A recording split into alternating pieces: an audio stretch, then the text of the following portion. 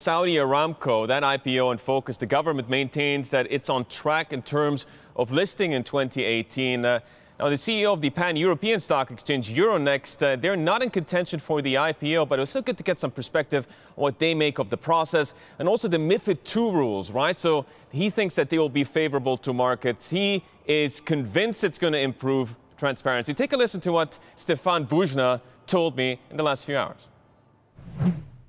Well, first of all, going public, going through the IPO process is complicated and is big, big move even for a small company.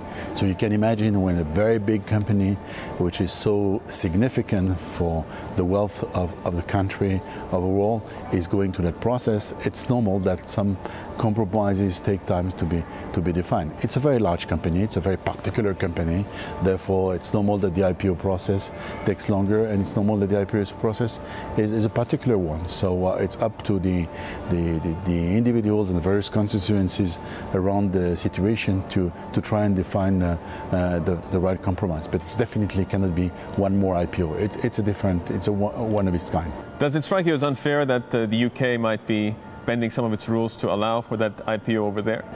I have no comment on that point. I mean, it's up to, to the UK regulators and the, the London Stock Exchange to try and define uh, what are the best uh, conditions they want to offer to that particular IPO.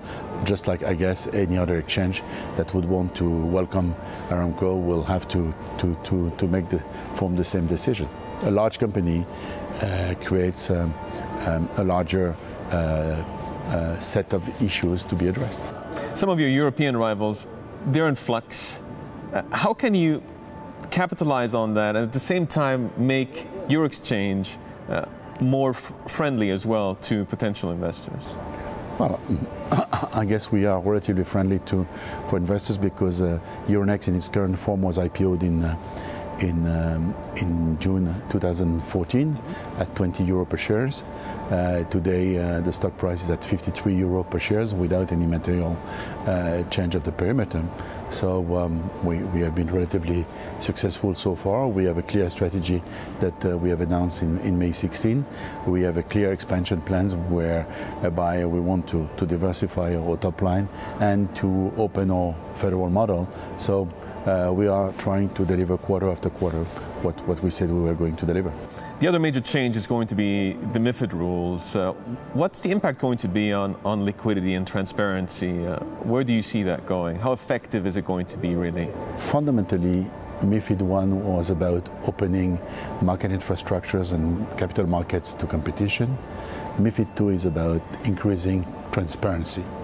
So anything that uh, uh, um, favors transparency requirements is, uh, is going to be favorable to, uh, to lit markets. And we, as a regulated market, are particularly lit market.